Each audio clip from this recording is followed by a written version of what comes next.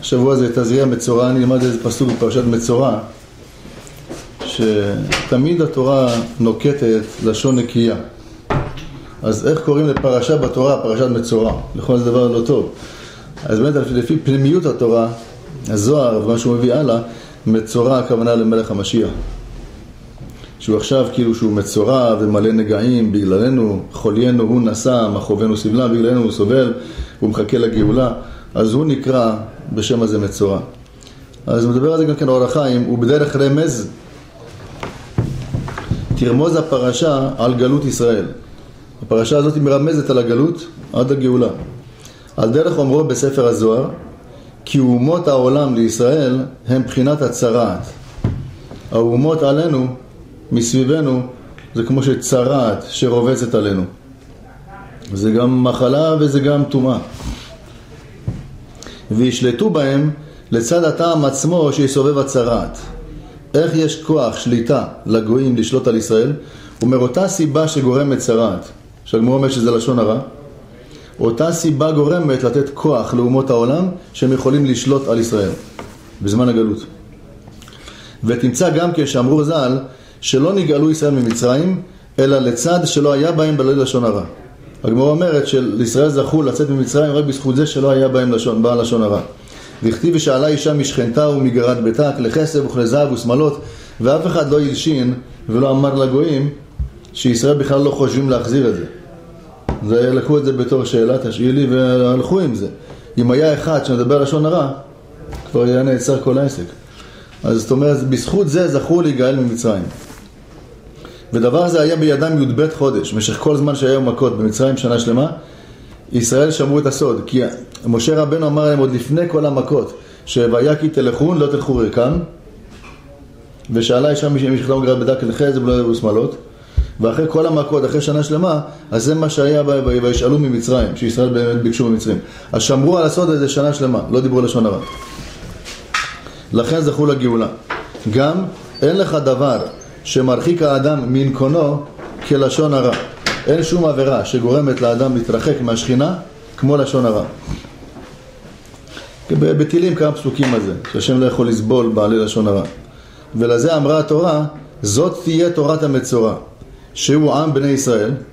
עכשיו המצורע עכשיו הכוונה אלינו, עם ישראל, שנצטרע בנגעי בני האדם הטמאים, מכיוון שבמשך הגלות יש את העוון הזה של ישראל שמדברים לשון הרע, אז אנחנו בעצמנו בדרגה הזאת של מצורע, אז ביום טהרתו, התורה אומרת, התורה שלו עכשיו של המצורע, כשהוא רוצה עכשיו להיטהר, דבר ראשון שיטהר לשונו הוא דרכיו.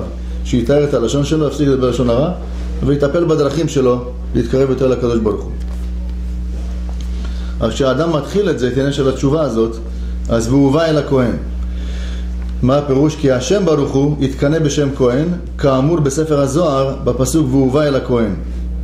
שהכהן, כתוב שם שכהן זה איש חסד, כהן זה הקדוש ברוך הוא, שהוא מתאר את המצורע.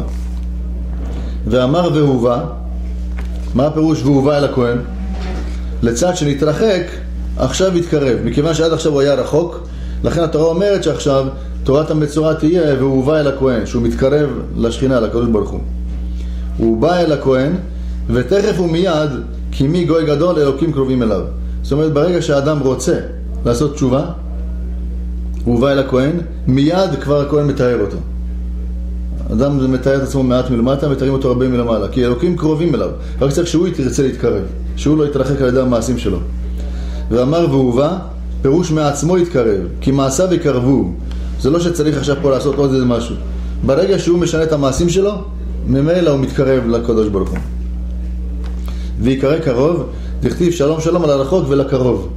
כבר מיד הוא נקרא קרוב, ברגע שהוא חוזר בתשובה, כבר הוא נקרא קרוב.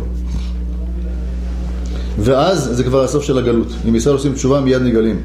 אז יתקיים מה שכתוב בפסוק ויצא השם ונלחם והוא אומרו ויצא הכהן אל מחוץ למחנה שהיא חוץ למחנה שכינתו לחוץ על הארץ מקום טמא שהקדוש ברוך הוא יוצא כאילו מחיצת השכינה מהקדושה ללכת למקום טמא ששם בעוונותינו הם גולים בני ישראל כי ישראל ירדו לטומאה הגלות שלנו בין האומות במקום טומאה וראה והנה נרפא הנגע שבעדו באה צרת אז השם רואה שישראל כבר ריפאו את המחלה הזאת, את הצרת, הפסיקו עם הלשון הרע, שחזרו בתשובה ונטהרו, אז ממילא כבר מתקרבים לקדוש ברוך הוא, ואז הוא מתאר אותם. וציווה הכהן, ולקח להם מטהר שתי ציפורים חיות טהורות. לתאר אותו צריך שני, שני ציפורים. מה זה אומר? הם שני משיחים. ונקראו ציפור כי כן התקנו נשמות העליונות כידוע. הנשמות הגבוהות ביותר נקראים ציפור. ואז הוא אומר עכשיו על משיח שהוא נקרא ציפור. ועוד מצינו שהתקנא הגואל לציפור.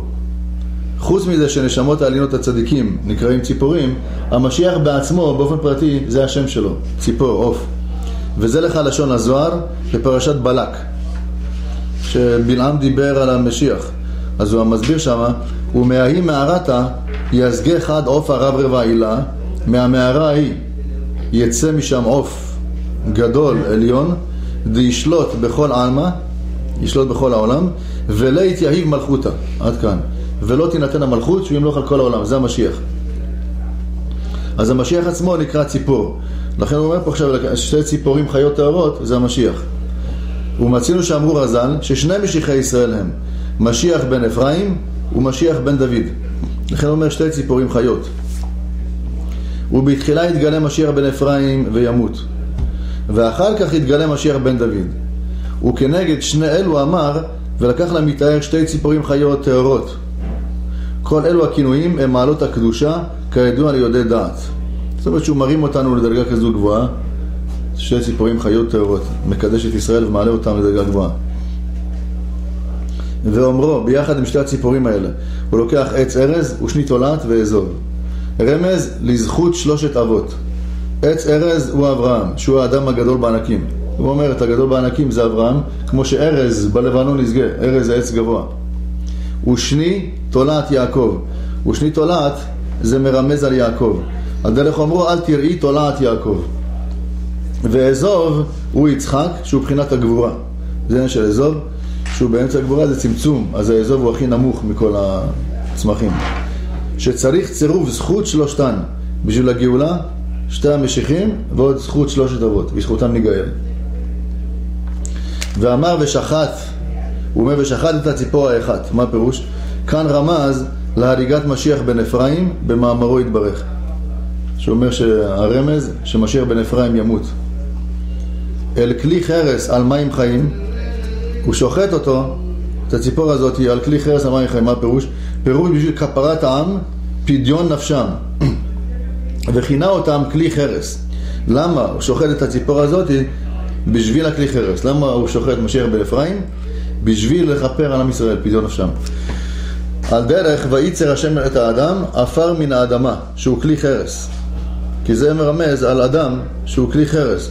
אז גם אנחנו, למה הוא שוחט את הציפור? בשביל הכלי חרס, בשביל עם ישראל. והכוונה בזה, לצד שנשארו ככלי חרס שעומד לשבירה. כלי חרס אין לו שום טהרה, שבירתו זוהי טהרתו. אז הוא אומר, אנחנו אז, בזמן הגאולה, בדרגה, בבחינה של כלי חרס, שאין שום תקנה. למה אין לנו תקנה? הוא אומר, לצד גירעון התורה המתייחסת למים חיים, על סיבת מים חיים, שאין בישראל תורה. הוא אומר עכשיו, ושחט את הציפור האחת אל כלי חרס בשביל לכפר על עם ישראל. למה? על מים חיים. בגלל הסיבה הזאת שאין בנו מים חיים, אין בנו תורה. לכן אנחנו כמו כלי חרס ששבירתו זו תקנתו. ולכן כדי לכפר עלינו, במקום לשבור את הכלי חרס, הוא שוחט את הציפור שמשיח בן אפרים, זה כפרה על עם ישראל. ועל זה תשחט הציפור האחת. זאת אומרת, למה נגזר מיתה על משיח בן אפרים? בגלל שישראל לא לומדים תורה כמו שצריך. אז זה, זה העניין פה עכשיו שרואים את המעלה של התורה. ישראל באמת מגיע חד ושלום כמו לשבור את הכלי חרס, אין שום תקנה. התקנה היחידה היא שמשיח בן אפרים הוא כפרה, פדיון נפשנו. גם באמצעות דבר זה, על ידי זה, הריגת משיח בן אפרים, ילבש השם בגדי נקם, הפך מידותיו הרחמים. מצד הקדוש ברוך הוא רחמן, אבל בגלל אחריהם הריגת משיח בן אפרים, כבר אין מידת רחמנות, זה יהפך למידת נקם, ויעשה כלה לגויים המרעים. עד עכשיו השם קורא להם מעשי ידיי טובים בים, זה מעשי ידיו, זה יש בהם איזה יחס של רחמים לקדוש ברוך הוא. אבל כשתגיע הגאולה, אחרי הריגת משיח בן אפרים, כבר אין רחמנות על הגויים. אז זה הפירוש לשחוט את הציפור האחת. אז זה גם כפרה על עם ישראל, וגם להפוך את מידת הרחמים למידת הדין, להעניש את הגויים המרעים. וממוצא דבר אתה יודע, שאם יהיה בהם תורה, לא ימות הצדיק. פה אנחנו לומדים שלמה כל ההריגה של המשיח בן אפרים בשביל לכפר על ישראל. למה לכפר? כי אין בו מים חיים, אין בנו תורה. זאת אומרת, אם כן עם ישראל יהיו שקועים בתורה, אז זה יציל, לא צריכים את התקנה הזאת, זה יציל את משיח בן אפרים. ותמצא שכתב האריזל בעץ חיים שער עמידה, בפירוש התפילה שם על תשכון, תשכון בתוך ירושלים עירך. שצריך לכוון בתפילה הקבועה, להתפלל על זה הצדיק שלא ימות. זה בסידורים של הספרדים זה מובן שמה. שיכוון על משיח בן אפרים שלא ימות על ידי ארמילוס, רשיעה. אז האריזל אמר לתלמידים שלו לכוון כל יום בתפילה הזאת. הוא רמז על עצמו שהוא משיח בן אפרים, כמו שדיברנו כמה פעמים. שאם בישראל תהיה תלמוד תורה כמו שצריך, אז זה יציל אותו ממיתה. פירוש, כי באמצעות התפילה יתרבה זכותו ויעמוד חי ותבוטל גזירת מוות ממנו. למרות שנגזר עליו, אומר במאמרו יתברך משום קודם, ושחט את הציפור האחת, אבל האריזה אמר שעל ידי תפילה ותורה אפשר להפוך את זה, לבטל את גזירת מוות ממנו, שהוא יישאר חי. ואמר את הציפור החיה, שהוא משיח בן דוד, אחרי שהוא שחט משיח בן אפרים, עכשיו משיח בן דוד, ייקח אותה הקדוש ברוך הוא ויצרף עמו זכות האבות. השם יצרף למשיח את הזכות של אברהם, יצחק ויעקב. ויצרף נקמת הצדיק שנהרג. וגם נקמה על הצדיק הזה שנהרג. והוא אומרו, ייקח אותה ואת עץ הארז ואת האזור, זה האבות, וטבל אותם בדם הציפור השחוטה. זאת אומרת, צריך את כולם, המשיח הזה, הציפור החיה, זכות שלושת אבות, ולטבול אותם בדם הציפור השחוטה, להפוך את מידת הרחמים למידת הדין, כדי להעניש את הגויים. והתגברו הרחמים מזכות האבות, הרחמים התגברו לעם ישראל, וממשיח הנהרג, והתכפרו כל הדרגות הטומאות ומניעות דבקות ישראל. על ידי הרגע של משה בן אפרים זה יכפר על כל הטומאה של עם ישראל. והוא מה שרמז הכתוב כאן באומרו ויזה על המטהר. פירוש עניין כפרה. המטהר זה אנחנו נהיה. כי למען זכות האבות ולמען אשכול הנהרג הוא כופר, אשכול הכופר דודי לי ויכפר על בני ישראל. בזכות זה זכות האבות ומשיח בן דוד ומידת הדין שנהפכה על ידי משיח בן יוסף, בזכות זה יכפר על עם ישראל ונזכה לגאולה. אז לכן הפרשה הזאת זה מרמז על המשיח, לכן היא נקראת פרשת מצורע, כי זה של משיח והגאולה. ואמר שבעה, ויזל המתאר שבע פעמים, כנגד שבעה דרגות הטומאה, אשר יטמאו בהם בית ישראל, כי הם שבעה כידוע. והן הן הרמוזים בטומאת מת וטומאת נידה. דכתיב כטומאת הנידה, כאילו היו עם בני ישראל טמאים כאלה, מרחקים מהשם הקדוש ברוך הוא. אז אולי יש שבע דרגות של טומאה, אולי יש שבע מידות שטימאנו. מה שעל כל פנים זה שבע דרגות של טומאה. ואז הוא מזה שבע פעמים לכפר עלינו מכל השבע דרגות האלה. ובזה וטיהרו. ואז ושילח את הציפור החיה. אחרי שהוא מתאר אותו, הוא משלח את הציפור החיה, מה הפירוש? כי אומרם בספר הזוהר פרשת בלק, מה שאמרנו קודם, ומאי מערתה יזגה חד עופר רב רבע הילה, בכל עלמא, ולהתייעב מלכותה. שאז המשיח ישלוט על כל העולם, שילח אותו על פני השדה, ואז הוא שולט על כל אומות העולם. והוא אומרו על פני השדה, שהוא עולם הזה, שתהיה שולטת בכל העולם. מלכות משיח, מלכות הקדוש ברוך הוא, השם אחד ושמו אחד, המלכות תהיה מלכותו בכל משלה, בכל העולם. ואז וכיבס המטהר, שהם ישראל את בגדיו. ועם ישראל מגיע אז לטהרה השלמה שמחפשים את הבגדים. מה הפירוש? הם בגדים מצויים שהיו מלובשים בנשמתו. על ידי שהאדם חד ושלום עובר עבירות, אז הוא מטמא את לבושי הנשמה, לבושי הנפש של מחשבה, דיבור ומעשה. זה הלבושים, מה שאומר בתניא, פרק ד'. אז הלבושים האלה שאדם מטמא על ידי מחשבה שאסורה, ודיבור אסור, ומעשים אסורים, זה פוגם בנשמה שלו, לבושי הנשמה. אז אז הקדוש ברוך הוא יתאר את ישראל וכיבס המתאר את ישראל, השם יתאר אותם. כדרך אומרו, הסירו הבגדים הצועים, להוציא את כל הלכלוך שדבק בנשמה במשך זמן הגלות. אז השם, ותיארתי אתכם, רוח, השם אומר ששולח רוח וכיבס ותיאר, וגילח את כל שערו, מה פירוש לגלח את השערות? שהם מבחינת צמחי החומר העכור. זה מה שהוא אומר עכשיו, מה שצמח, שערות, זה החומר העכור, מה שהוא קורא לזה, מהגוף, זה השיריים. פה מדבר עכשיו, מה שנגרם, כתוב בכלל במובן שהשערות זה מותרי מוחין, מהמותר, שירות של, של המוח, מזה זה יוצא בסוף, על ידי כל הצמצומים שצומח שערות. אז הוא אומר פה עכשיו שזה החומר העכור שיש בגוף, מה שלא... פסולת, מה שיוצאת מהגוף, זה השערות. השם אומר, ויגילח את כל שערו, יגלח את כל הפסולת. ורחץ במים, היא התורה, בה יטהר מחשבותיו. אז אחרי שהוא רחץ את הלבושים של הנפש, מחשבה, דיבור ומעשה, אז לטהר את המחשבות זה לדעת תורה. שאז, כמו שאומר רמב"ם, לא יהיה עסק כל העולם, אלא רק לדעת את השם בלבד. שכל עסק של עם ישראל יהיה רק בלימוד התורה. ואחר יבוא אל המחנה, זה מחנה שכינה. ואז אנחנו מגיעים לדרגה הזאת, להיכנס למחנה שכינה. ירושלים היורדת בנויה מלמעלה. מקדש השם קולנו ידיך, שהשם מוריד בית המקדש. ואז ישראל ומלכה בלכודוי. עם ישראל עם הקדוש ברוך הוא ביחד. ואמר, וישב מחוץ לאוהלו, מה הפירוש אז שאנחנו מחוץ לאוהל שבעת ימים? כי לא יקרבו להזדווג לשכינה עד שישבו שבעה נקיים לחשש טומאה. לברר שאין שום טומאה בעם ישראל, שום דבר, אפילו לא שמץ, אז יש עניין של שבעה נקיים. כמו שאישה צריכה להתאר, לבדוק כל יום, אם לא נשאר משהו מהטומאה, אנחנו אז נצטרך להתאר ככה. וביום השביעי יהיו ראויים לקבלת הערת הקדושה. אז נהיה כבר בדרגה המושלמת לקבל את הקדושה האלוקית. כיוצא בזה תמצא שאמר ביחזקאל, שבעת ימים יחברו את המזבח וטיהרו אותו. ששבעת ימים לטהר אותו לגמרי, להתעלות מדרגה לדרגה, לעילא לעילא בקדושה. נמצאת האומר שזה יהיה אז שתי טהרות. טהרה ראשונה, הרחקת הטומאה, קודם כל ואת רוח הטומאה האוויר מן הארץ, לנקות את הנפש מכל הטומאה שנדבקה במשך כל זמן הגלות, והשנייה היא הקרבת הקדושה. ואז אחרי זה, כשאדם נהיה כלי לשכינה, אז שורה עליו השכינה. מנו הסביר את כל הפרשה הזאת בעניין הגאולה, לכן הפרשה נקראת מצורע. זה לא חס ושלום עניין לא טוב, הסיבה של הגלות היא לא טובה. מה שגורם למצורע זה עניין של לשון הרע. אבל הפרשה הזאת מדבר על טהרת המצורע.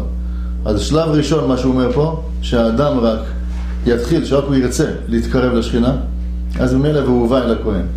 יפסיק עם לשון הרע, ינקה את המחשבות שלו, יתאר עצמו, ישפר את דרכיו, מילא מיד אוטומטי, והוא הובא אל הכהן, הוא מתקרב לקדוש ברוך הוא, ואז הקדוש ברוך הוא עושה את כל הטהרה. וגם נפרע מהגויים ואומות העולם, ואז נראה שכל הגויים כעין נגדו. כי ימי זדון מפני שדור רשעים מפני אלוקים.